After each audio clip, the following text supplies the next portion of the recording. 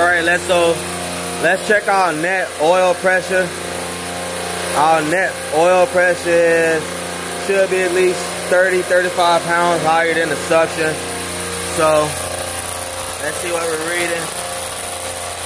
All right, so we're reading 62, 62 PSI. Let's see what our suction pressure is reading. Uh, let's turn this on.